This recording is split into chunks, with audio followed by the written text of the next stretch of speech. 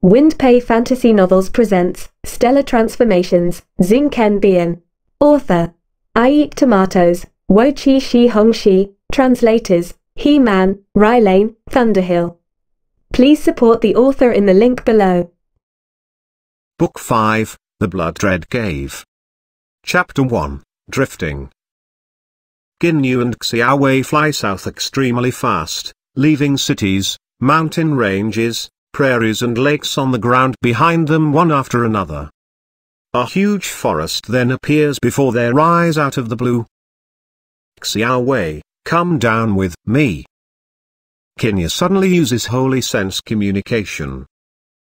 Xiao Hei immediately stops flying and asks doubtfully, Big brother, now we shouldn't be far from the southern waters of the Qianlong continent. Why do you want to go into this forest instead of keeping flying? He does not understand what Qin Yu wants to do. Ha ha, you don't understand this, right? Smiling broadly, Qin Yu explains, do you know the distance between the overseas Immortal Islands and the Qianlong continent? I don't know, but it shouldn't be very long. Xiao Hei looks doubtfully at Qin Yu. He still does not understand what the distance between the overseas Immortal Islands and the Qianlong continent has to do with Qin Yu going into this forest exactly. Qin Yu says with a smile, let me tell you, the nearest overseas Immortal Island is 100 odd thousand li from here, and the Penglai Immortal region is even millions of li away. The enormousness of this ocean is basically not something you can imagine. Since the distance is so long, if we always fly on the ocean, it'll be very boring. Big brother, what do you mean? Xiao Hei suddenly understands a bit. Let's make a large ship and put it in the spatial ring. While wandering on the ocean, when we are bored, we'll take it out and fish, or sunbathe, or enjoy the ocean's winds on it. Flying all the time will be boring, right? Qin Yu wants to make good preparations for a long-term wandering. As a Xiuzhenist, his lifespan is almost limitless, thus he does not care about his time. And drifting on the ocean experiencing adventures is also a form of practice. Xiao Hei becomes excited at once, very good. Since this forest is so big, there must be huge trees here. Let's find some quickly. After saying, he simply does not wait for Qin Yu and dives down into the immense forest himself. Qin Yu also dives down with a smile. After entering this enormous forest, he and Xiao Hei discover that it has no traces of human presence and is thickly grassed over and wooded. Obviously this forest is a very ancient one. Qin Yu and Xiao Hei go through the forest extremely fast, not worrying about its so-called wild beasts in the slightest.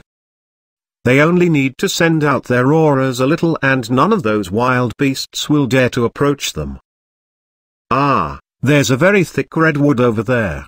Xiao Hei suddenly says using his holy sense. Qin Yu has also quickly detected the redwood, which is about 10 odd meters in diameter and can be considered relatively large in this ancient forest. But he says with a sigh, too bad, there were so many big trees in the wilderness, but we never thought about chopping down one to make a ship. There were no traces of human presence in the wilderness for millions of years so those ancient trees had reached 70 to 80 meters in diameter, and there were even some trees whose diameters had reached 100 meters, which was simply very astonishing. This is the first ancient forest that Qin Yu and Xiao Hei have gone into since leaving the wilderness, but even so those trees that have reached 100 meters in diameter are nowhere to be seen. Big brother, this forest is still within the boundaries of the three big kingdoms. Even though there are no traces of human presence here, some Xiantian experts could have gone through it. Those extremely large trees are treasures so they must have been chopped down long ago. Xiao Hei says powerlessly. Qin Yu however is not willing to stop searching. A tree that is 10 odd meters in diameter is not small, but it is still far from what he wants. This forest is also very large. Let's keep going through it to find a bigger tree. Qin Yu makes a decision. Xiao Hei does not object to it and continues to fly extremely fast with him. As this man and this eagle travel, they use their holy senses to search carefully for an even larger tree. There are only a few Xiuzhenists on the whole Qianlong continent so it is extremely rare to see Xiuzhenists who use their holy senses in search of a tree like this. In a short while Qin Yu and Xiao Hei have already covered 100 li, during which the largest tree Qin Yu has been able to detect was only about 20 meters in diameter. He and Xiao Hei therefore keep searching. To them, going 700 to 800 li across this forest is not considered far at all. Ah, Xiao Hei, there's an exceptionally large tree 6 kilometers ahead of us. Qin Yu becomes excited. An exceptionally large tree? How large is it? Xiao Hei is also surprised. How large must that tree be to be able to amaze and excite Qin Yu? This forest is not one in the wilderness, so, even if there is a bigger tree, how large can it be? In only a short while, Qin Yu and Xiao Hei have already come close to that big tree. Wow, it's like a huge wall. Xiao Hei says in amazement using his holy sense. Qin Yu's face is also full of excitement. This dark red old tree is surrounded by sinuous branches and looks as if it is carved out of rock. Obviously it is extremely hard. The diameter of this old tree is even more shocking, about 50 meters, which makes the tree look like a wall. Even though it cannot compare with some old trees in the wilderness, a tree like this is still extremely difficult to come by outside the wilderness. Good, let it be this tree. It's already thick enough. Qin Yu nods in satisfaction. The flaming sword then immediately flies out from his body and sends forth an indistinct and extremely long stream of stellar energy. This stream of stellar sword energy is 10 odd meters long. Even though the old tree is extremely hard, it is still far from being able to withstand the sword energy. Qin Yu smilingly points with a hand and the flaming sword instantly cuts through the tree's base. It is 50 meters in diameter but, under the power of the sword energy, it is cut off completely in just a moment. Afterwards, the huge tree falls with a loud noise, knocking down several tens other large trees.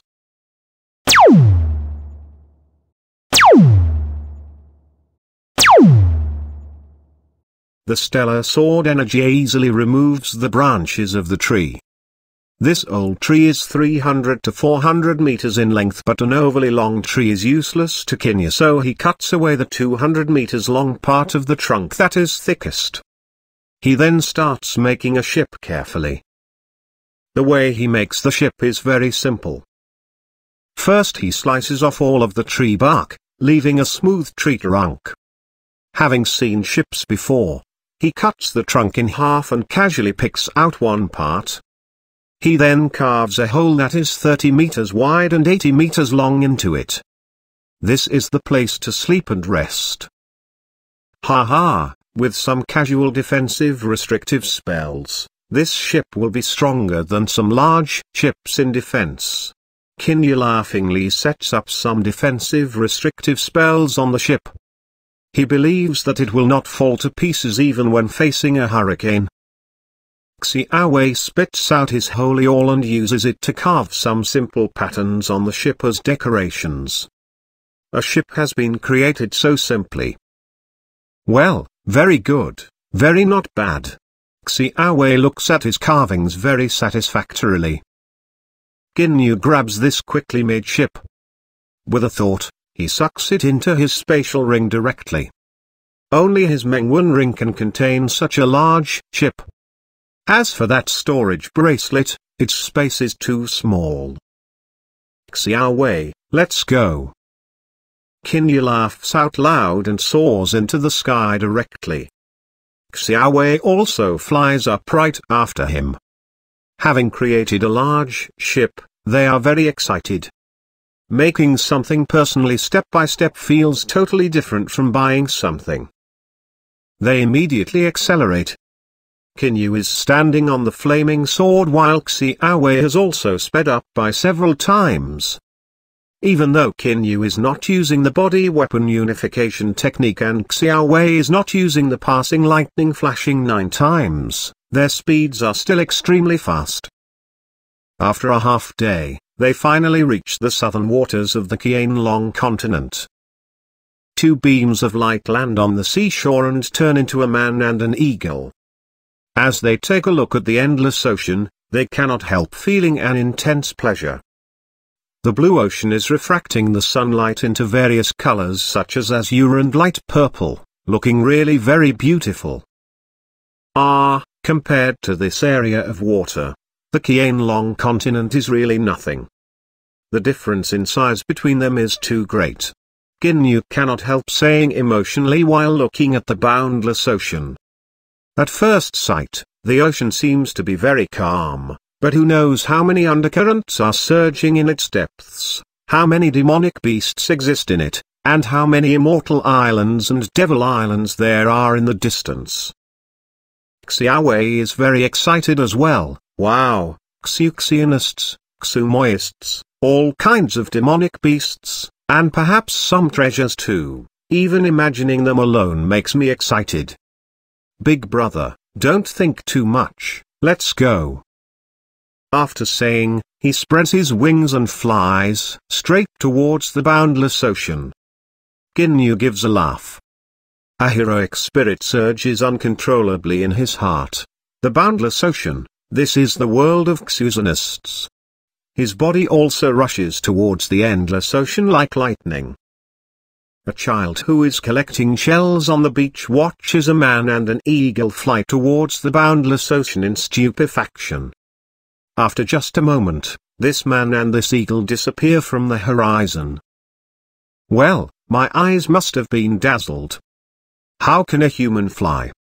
And even fly so fast? The child rubs his eyes then looks around carefully.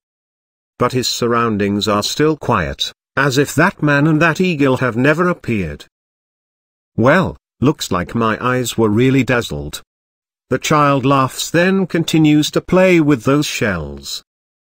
Today, Qin Yu, the Qianlong continent's unprecedented genius, who is comparable to a late Jindan stage expert at the age of only 20, the younger brother of the newly established Qin dynasty's emperor, Prince Yu of the Qin dynasty, has left the Qianlong continent this way. In the last 20 years, he has helped the Qin clan exterminate the Xiang clan, unify the Chu kingdom and create the Qin dynasty. Xiuzhenist has an almost limitless lifespan so 20 years is just like a blink of an eye. What is going to happen to him in the several decades, several centuries and several millennia afterwards. Dot. In the boundless ocean. Ha ha, it feels so good. Qin Yu is going by treading on the surging waves, brandishing his hands between them. He is currently wearing the clothes that Lei Wei forged in the past, with a pair of pants on the lower half of his body and only a black sleeveless undershirt on his upper body. The muscles of his body's upper half totally stand out. At the moment Qin Yu is full of vitality. He is treading the waves freely, looking wild like a sea god. Ha! He suddenly makes a wave of his hand. Many huge streams of water unexpectedly start to move around his body like the energy streams that appeared when he was practicing the Trans-Heaven 3 diagrams in the past. However these water streams are 10 times thicker than the energy streams before and the area encircled by them is also 10 times larger. With the water streams moving around his body, Qin Yu is expressing his feelings wantonly. All of a sudden he reaches out a hand and a big fish that weighs 10 odd jin floats up. Using only telekinesis, he has caught a big fish just like that. Xiao Hei, prepare to roast fish. He says laughingly to Xiao Hei in the sky. Then, with a wave of his hand, a huge object suddenly appears on the surface of the ocean. It is none other than their large wooden ship, which is 200 meters long and is 50 meters wide.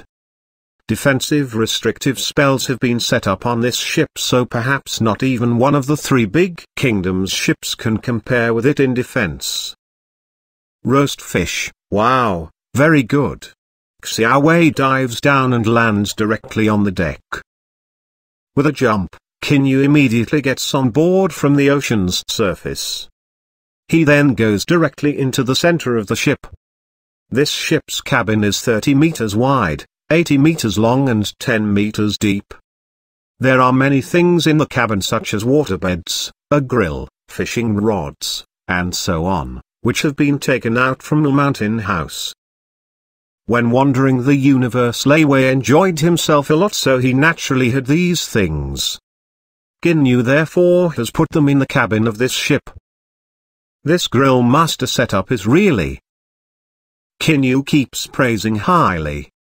To be exact, this grill is similar to an 8 diagrams furnace that is used to forge weapons.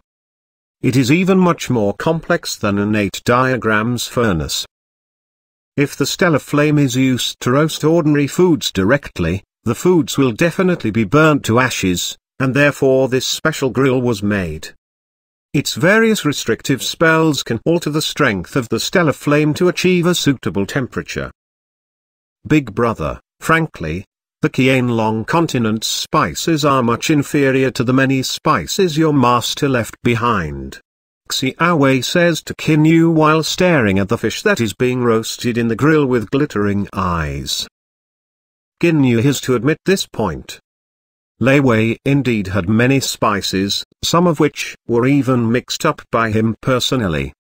Many foods taste much better when those spices are added to them.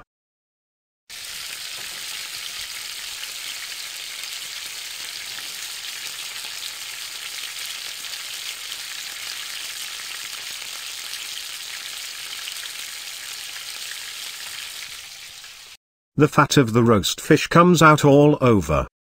Xiao Hei is about to drool, but he must wait until the optimal temperature is attained. Alright. Qin Yu cuts the fish in half directly. He and Xiao Hei each take a half of this 10-odd jin big fish then start to eat it very happily. They eat up such a large fish but their stomachs do not change at all. Suddenly dash. The ship shakes. What's going on? Qin Yu immediately makes a sweep using his holy sense. He then bursts out laughing, these sharks unexpectedly want to destroy my ship. Too bad, it's very hard. With defensive restrictive spells set up on it, this ship is really not something that these sharks can destroy. He suddenly gives a smile, but you have to pay a price for hitting my ship. Like an eagle with spread wings, he immediately flies out of the cabin. Making a push against the deck using his feet, he dives into the ocean. There are several tens sharks around the ship at the moment. Qin Yu quickly detects the leader of these sharks. With a jump he gets on this shark and grabs its fin directly. Feeling that someone is sitting on it, the shark starts to move like crazy at once alternating between swimming underwater and jumping into the air. Behave. Qin Yu exerts the strength of his legs, pressing the shark to the point where it begins to cry miserably. At the same time, his stellar energy rushes through the shark's entire body. Feeling that Qin Yu is formidable, the shark stops resisting in an instant. This is good. Go ahead for me. Qin Yu rides the leading shark forwards. The other sharks follow him on one side. Xiao Hei also steers the ship to follow him on one side. Under Qin Yu's control, this shiver of sharks continuously goes south. Xiao Hei then starts to fish. After all, roast fish taste really very good. End of chapter 1 Thanks for listening. If you like the video please press like and subscribe for more. Don't forget to support the original author so we can enjoy more of their books. See you in the next video. Love and peace, Windpei.